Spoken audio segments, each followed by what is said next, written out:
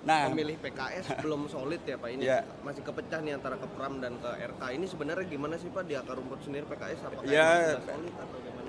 dari dulu yang namanya lembaga survei tidak cukup bagus dan, dan ti- dan tidak cukup benar, tidak cukup profesional untuk memotret internal PKS. Itu dari dulu selalu begitu, termasuk di Bidang Kompas. Kami tahu persis apa yang ada di da- dalamannya PKS dan mereka solid, mereka satu kata, mereka satu komando memenangkan apa yang keputusan partai yaitu Ridwan Kamil dan Suswan. Pak tadi Pak Bapak bilang PKS pernah menang di Jakarta. Berapa persen keyakinan bahwa PKS ini bisa mendulang suara cukup banyak di Jakarta? Ya, Jakarta tahun 2004 PKS menang di Jakarta dengan 25 persen dan tahun 2007 kami sendirian me- mengajukan calon kami yaitu Pak Adang Darojatun dan Pak Dani gitu ya.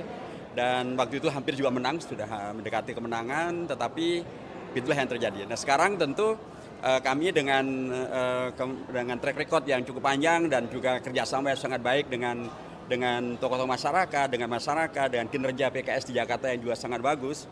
Saya eh, yakin gitu ya, bahwa warga Jakarta adalah warga yang terdidik, rasional, well informed, mereka tidak mudah diganggu dengan gorengan isu dan karenanya insya Allah apa yang jadi target untuk menang satu putaran bisa kita wujudkan. Ya, pertama survei itu banyak ya, bahkan dalam waktu bersamaan ada survei juga dari PPI yang mengunggulkan paslon nomor satu. Nah, jadi itulah survei dan itu bagian dari dinamika dan dinamika dinamisasi. Jadi tentu saja semua survei itu akan diproporsionalkan dan eh, PKS sebagai partai yang mengusung Pak Suswono tentu eh, mengajak kepada seluruh eh, partai pengusung nomor satu untuk memaksimalkan waktu yang ada, termasuk juga memaksimalkan eh, kader PKS, eh, anggota DPR PKS, anggota DPRD PKS, untuk dan seluruh struktur PKS untuk memaksimalkan waktu yang ada untuk merealisasikan harapan rakyat Jakarta